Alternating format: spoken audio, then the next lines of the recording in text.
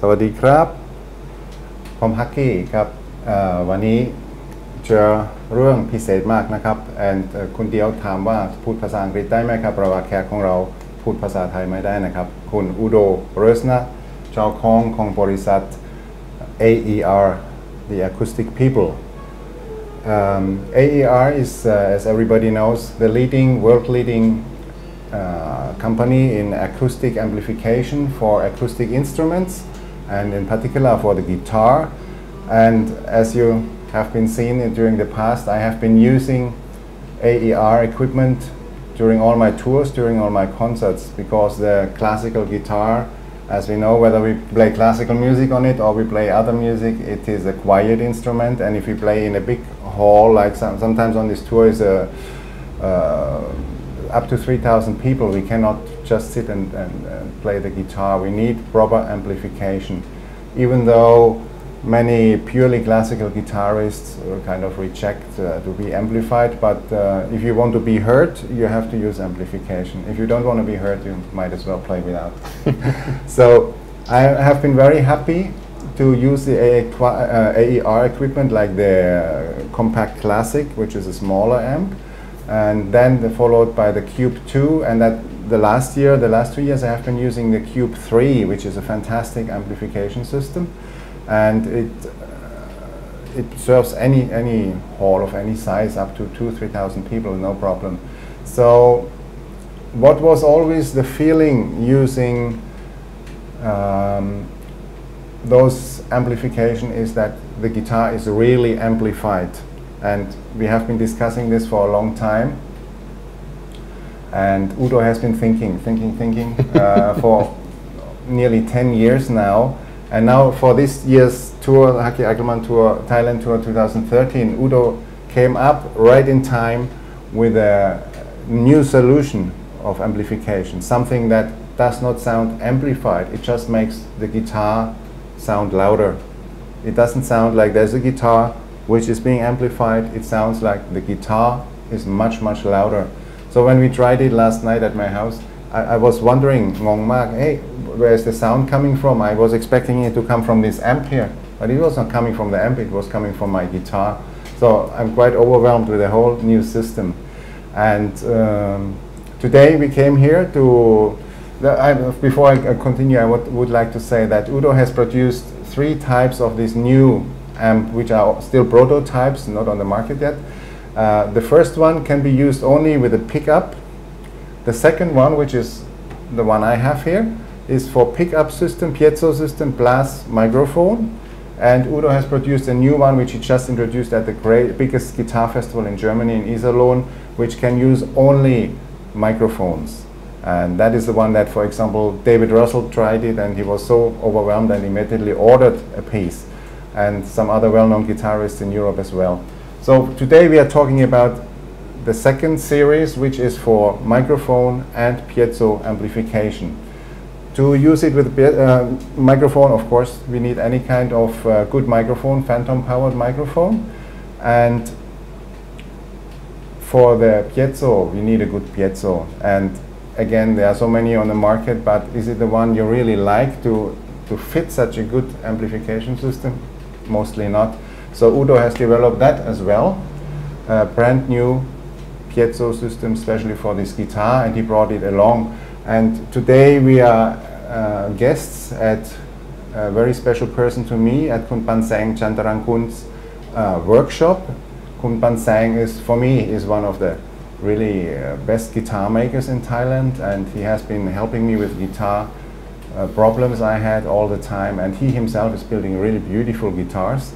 And he was so kind to let us work at his workshop today, and he's uh, assisting us and helping us, or Kun Udo, to build in this system for me. And we will try it out. And tomorrow we're going to go to a bigger hall to try the sound, how it really sounds in the end.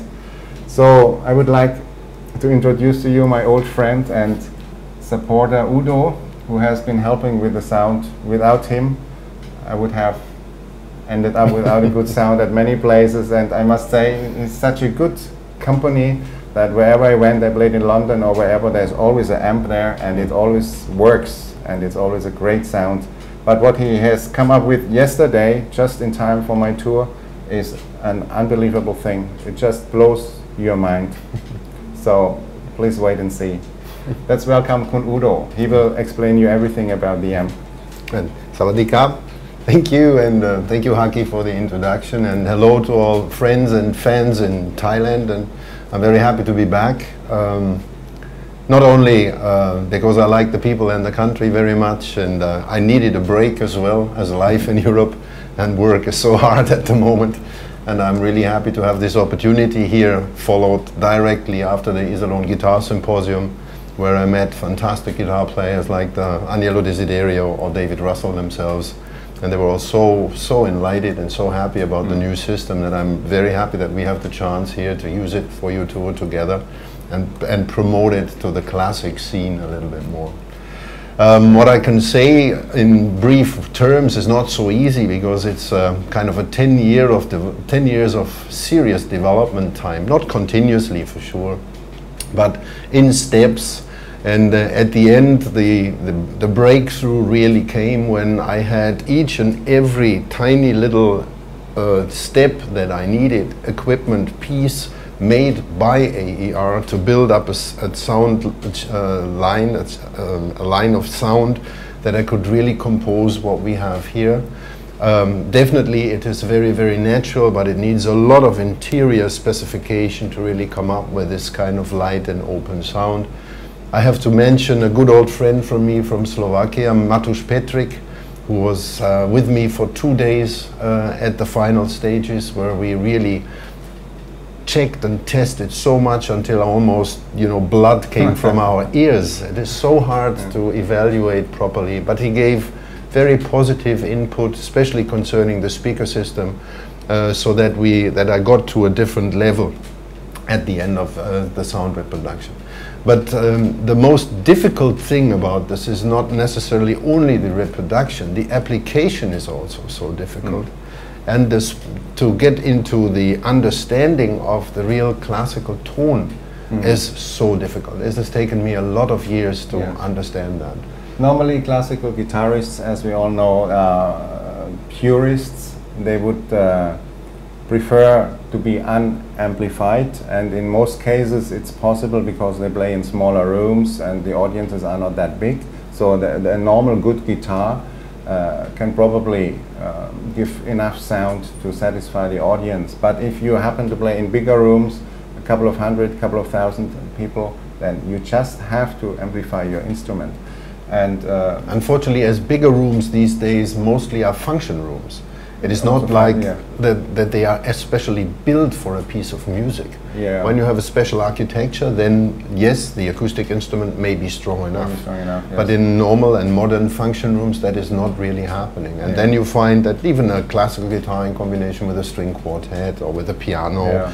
uh, it, it cannot survive. If you play with other survive. instruments, it's already a problem to uh, amplify it. But then until today, until we had this amp, the drawback was always that it did not sound really natural. It did not really represent the real sound of the instrument. So mm-hmm. you had a fantastic instrument where the guitar maker has spent so much uh, expertise to get that beautiful, detailed, and delicate sound.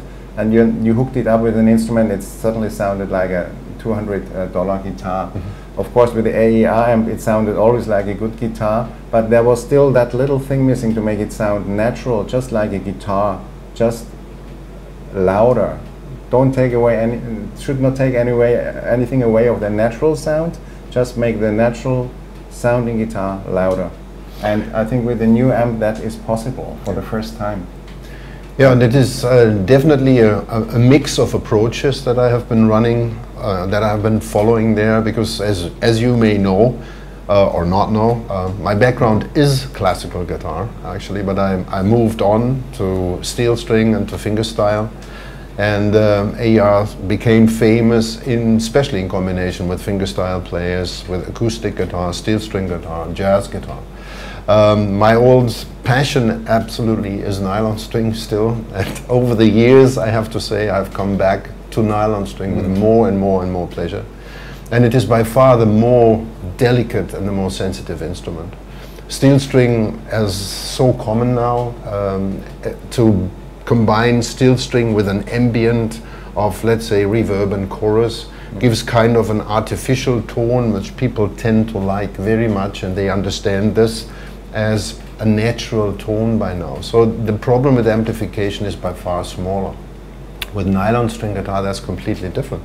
If you listen to people like Alvaro Pierri or, or other great guitar players nowadays, the tone that they can develop with these instruments is, is like a painting.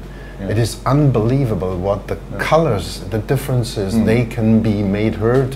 You never ever find this with hmm. a steel string guitar. Yeah. And the construction of the guitar is so much more delicate. It, it deserves so much more attention. So an approach to properly to do that needs to understand the whole scenario, the, the psyche of the personnel, the, the, the delicacy of the instrument, the necessities of the, the room and the position that they play, and you all have to try to put this into a into a genuine concept which is also easy to handle and possibly invisible because mm-hmm. most of them really don't like to have the technique around them.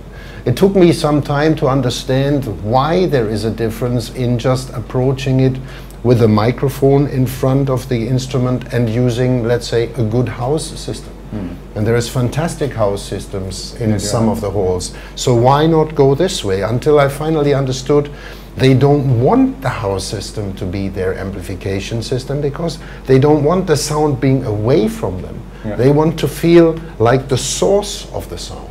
Yeah. So it all starts from the stage. Even the, the player would like to be the center of the sound. Exactly, That is that's it. point. Took me some time to get this clear, mm. and then they just w- also always want to hear a kind of mix at the position where they are, the mix of what they do themselves, mm. because that's the utmost of delicacy in tone. Mm. They are painting while they're sitting, Yeah. but they want to have the control that this is kind of reaching the audience as well. So it has to be a very nice mix, what they kind of control by their ear close to them, which is strong enough to fill a hall. Hmm. So it took me some time to get this straight, to get this concept straight, and then approach it from there in taking high quality hmm. stuff, for example, high, high quality circuits, and modify this to the degree that the instrument is really very pure. So one of the hmm. key p- facts here with this amplifier is to offer an option for the purist in pure microphone use, and we are happy to to use a Schoeps or to, to use Neumann microphones. With this amplifier, you can use your personal distance of the, of the source of the mm. microphone to your instrument for your best tone and then just rely on the authentic reproduction of the unit. That's one approach. But on the other hand, I had the great pleasure of meeting the Katona twins um, at this Iserlohn Guitar mm. Symposium now. A young guitar duo, really fantastic player, absolutely traditionally, classically trained, mm. with a beautiful tone and beautiful painting qualities as well in their mm. interpretation. But at the same time, they are very modern and they like to do something as Rock and roll. energetic like Tommy mm-hmm. Emmanuel, for example. Mm. And that was a beautiful link. Mm. And for me, to see these both elements happening in a concert. And it was the first time that it was very obvious to me that, yes, for the energetic things, for the power stuff, and they had a beautiful version of Bohemian Rhapsody for duo Yeah. classic arranged, it was really great. And I could really feel how nicely a pickup system fits this kind of presentation, but how difficult it is to use the same pickup system to play Boccherini or Bach Yeah, sure. and it didn't work. Hmm. So it was so obvious to me that this system, which offers both sources, which, which pays just and fair to both sources in the best possible way, Yeah. is exactly a key thing here. And we are, I'm very happy to hear what you are going to say tomorrow when once we have uh, had the pleasure here to install the system in your new guitar. Yes. And we will check it out tomorrow in a live situation. Well, it's definitely very versatile, as you can hear. You can either choose to have pure microphone sound, the pure sound of your guitar, just slightly amplified by a microphone, or you can go rock and roll and uh, use the full power of the piezo system, which Udo is going to install here today at Kun Pansang's workshop. I will, So I will give you a little abstract of what we have done. We have definitely have a two-way pickup, a two-way speaker system here. Yes. We have uh, about or 100 watts of substantial power. Um, So that is 100 real watts. Yes, real mods. If I if I bend this a little over, you can see that the operation uh, starts from the right side of the player with the mute and uh, ma- and the volume sitting right here, the master volume. We have a little bit of um, equalization option for somebody, but again, most of the time it is set flat because the internal match of all the elements is so nice that you don't need it.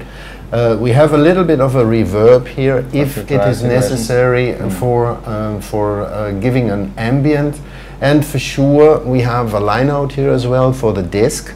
Possibly or if you consider an orchestra situation you could feed a satellite with it to give the sound back to the orchestra which may not be needed in the real orchestra situation but in rehearsal situations that's mandatory because rehearsals Sure. take place in really awkward rooms Yes. where there's no acoustic and the guitar player has no chance to hear himself and the orchestra neither. Mm.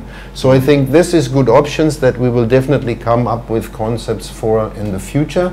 This is just a starting stone of this. Mm. And if I turn this around, I, and you can see the back side here, the idea is to have all the, the um, level adjustments and all the connectors at the back side so that it's a certain decency. You don't see any cable coming out at any side of the amplifier.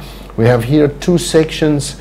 The one section preferably for the micro uh, for the pickup system. You see here a very special connector, Hmm. which is a LEMO connector. We are working here with multi-pin connectors, very very small multi-pin, as we have about we have six signals from the new pickup system that we have to make use of inside in this internal electronic. And you see here the microphone section for a standard uh, XLR um, for phantom pi- uh, powered condenser microphones.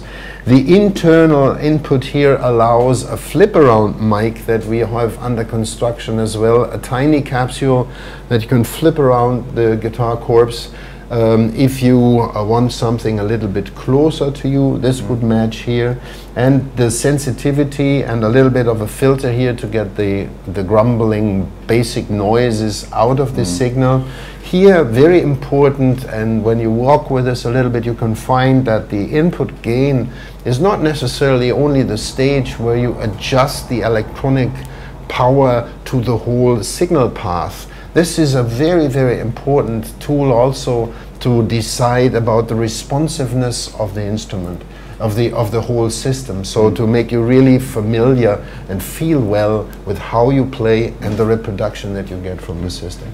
So what is important to know is that you can't just come with a common lead that you buy in every store and stick it in. It won't work. Uh, the amp comes with a special cable and special plugs to uh, Lemnos plugs, as uh, Udo explained it, uh, because it carries so many sensitive signals that a normal lead would not be able to do. Okay, so that's it. It is still very light and pretty small, normal for AER products, portable for sure, and it comes a little bit with the package, as I said, with as you said, with the cables and adapters that are Yeah. needed, so you can connect. You are connected to the real world if you like to. But basically, I think we are we are servicing here two kinds of of um, of uh, traditions or, or, or let's say uh, groups in this classical field. The one that is really very very focused on a microphone only uh, reproduction of the tone, and the other group that is more, maybe more common in the younger generation of classical guitar players who are more eri- experimental, who want to get a little bit more life into the standard classical program that they're playing. And they think, I think they will very, very much appreciate the effort that we put into this very special pickup system. Great, yeah. I'm looking very much forward to how it will sound tomorrow. um, we will meet again at the BACC uh, theater and try out uh, both both ways with a microphone and with a pickup, and we'll see how it sounds.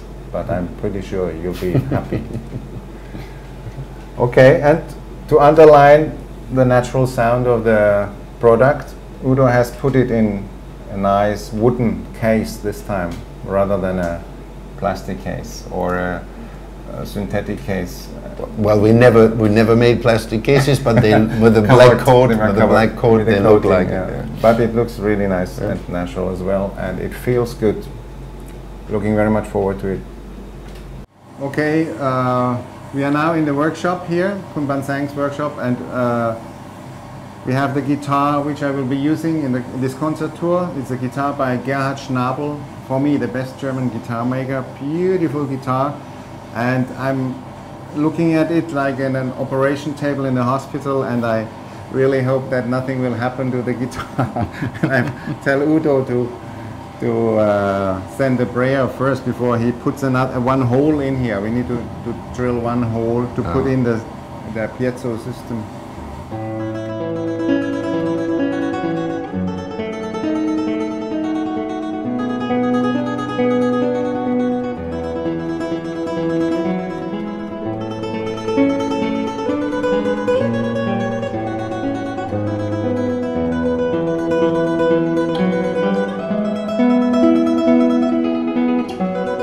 Música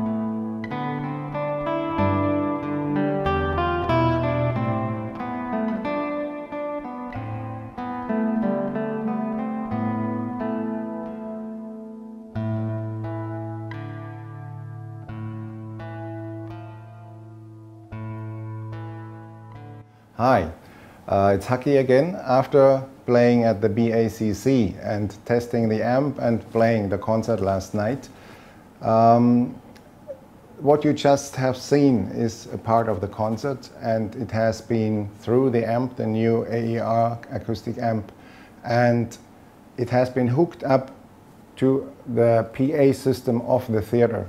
So this is a, an aspect one has to consider very carefully because we have the sound of the amp which is almost 100% natural as the guitar sounds. It is uh, probably never possible to have it 100%, but 99, 99.5% if you use only the amp.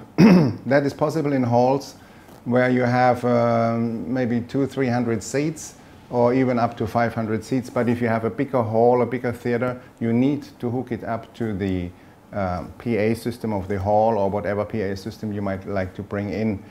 So that brings in a new uh, problem to the whole thing. You have to make sure that the PA system is adjusted in a way that it doesn't distort the original sound of the amp.